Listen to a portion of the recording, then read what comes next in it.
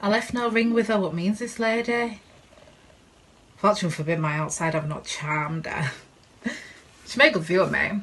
Indeed, so much that Shomi thought her eyes did lose her tongue, for she did speak in starts. Distractedly. She loves me. Sure. The cunning of her passion invites me in this churlish messenger. Not Martin. Why he said no man? I am the man. If it be so as tis, poor lady, well she better love a dream. oh, disguise, I see thou art a wickedness. Wherein the pregnant enemy does much. How easy is it for the proper false in women's waxen hearts to say it's from?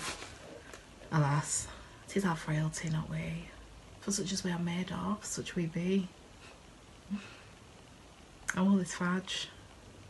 My master loves her dearly, and I, poor monster, fund as much on him. And she, mistaken, seems to dote on me.